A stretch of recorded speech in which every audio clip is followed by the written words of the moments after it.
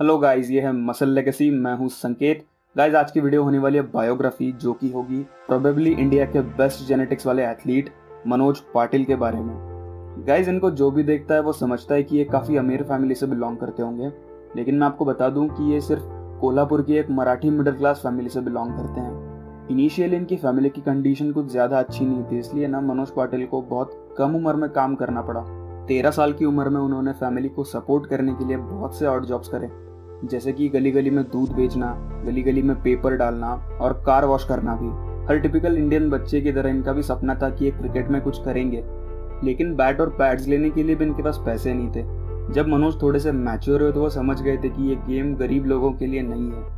उनके एक भाई थे जिनकी बॉडी बहुत अच्छी हुआ करती थी, क्योंकि ना वो अखाड़े में वर्कआउट करते थे तो मनोज को वो काफ़ी अच्छे लगते थे। मनोज भी चाहते थे कि उनकी ऐसी ही बॉडी हो। तो उनको देखकर मनोज ने जिम ज्वाइन कर ली। कोई ज़्यादा बड़ी जिम नहीं थी लोकल जिम थी।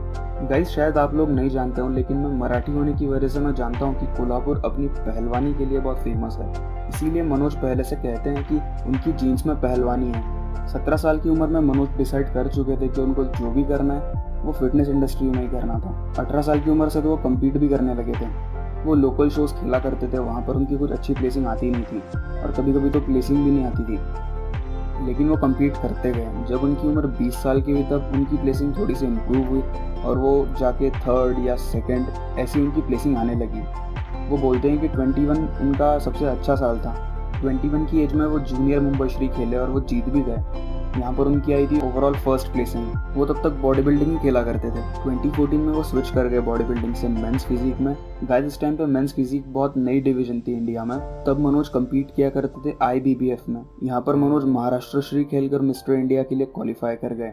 लोग अब तक मनोज पाटिल को अच्छे से जानते नहीं थे। लेकिन जब मिस्टर इंडिया 2016 में उनकी फ़र्स्ट प्लेसिंग आई, इनको जब गोल्ड मेडल मिला, अचानक से मनोज पाटिल को पहचानने लगे। और हर किसी मेंस फिजिक एथलीट की तरह उनके भी आइडियल थे जेरेमी बुंडिया। मनोज को मिस्टर ओलंपिया स्टेज पर चढ़ना था, इसलिए मनोज अपना प्रो कार्ड लेने के लिए आई में स्विच कर गए। तब इतने ज़्यादा शोज़ नहीं हुआ करते थे इंडिया में कि किसी को अपना प्रो कार्ड मिले, लेकिन 2017 में मिस्टर ओलंपिया एमेच्योर पहली बार इंडिया में हुआ था।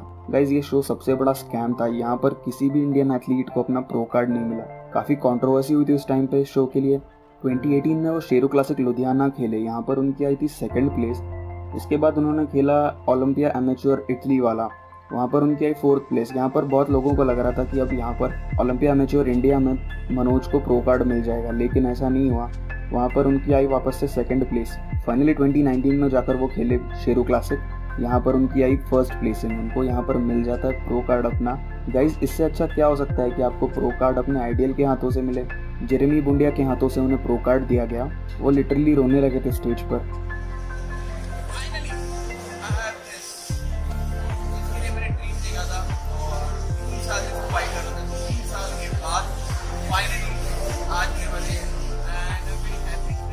प्रो कार्ड मिलने के बाद मनोज ने अपना पहला शो चुना था, जो कि था न्यूयॉर्क प्रो लेकिन आप लोग जानते ही होंगे कि इस कोरोना पैंडेमिक की वजह से ये शो कैंसिल हो गया।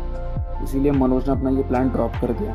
गाइज़ अब हम लोग देखेंगे मनोज की ट्रेनिंग स्प्लिट तो उसके अंदर मंडे को वो करते हैं चेस्ट और ट्राइसेप ऐसा बोलते हैं कि मंडे को वर्ल्ड चेस्ट डे होता है, इसलिए वो इस दिन चेस्ट लगाते हैं। तो उसके अंदर वो लेते हैं फाइव वेरिएशंस ट्यूसडे को वो करते हैं, बैक इसके अंदर भी फाइव वेरिएशन होते हैं इसके अंदर, दो पुलिंग मोमेंट्स होते हैं और दो रोइंग मोमेंट्स होते हैं इसके अंदर। वो वेनसडे को कार्डियो प्रेफर करते हैं फोर्टी मिनट्स नॉर्मली और जब कंपटीशन में होते हैं तो एक घंटा, डेढ़ घंटा है वो उसके अंदर वैरी करते रहते हैं। थर्सडे को वो लेग्स लगाना प्रेफर करते हैं। गाइज़ मेंस फिजिक एथलीट को लेग्स मारना कुछ ज़्यादा कंपलसरी नहीं होता है, क्योंकि वो अपने लेग्स दिखाते ही नहीं है स्टेज पर।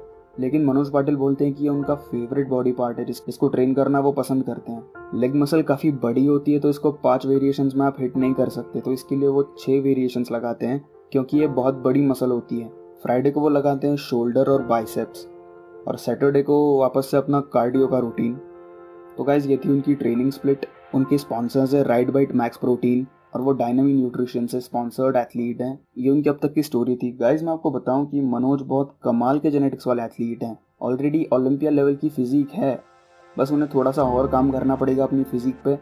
और फॉर श्योर हम उन्हें ओलंपिया स्टेज पर देखने वाले हैं। और हम लोग उनके लिए प्रे करेंगे कि वो जल्द से जल्द इंडिया को रिप्रेजेंट करें ओलंपिया स्टेज पर। और अगर मनोज भाई ये वीडियो देख रहे हैं तो मनोज दादा तुला तुझ्या ऑलिम्पिया जर्नीसाठी खूप खूप शुभेच्छा। तुला बेस्ट लक आणि होप करतो की तू लवकरच ऑलिम्पिया स्टेजवर असशील. तर बेस्ट लक त्याच्यासाठी.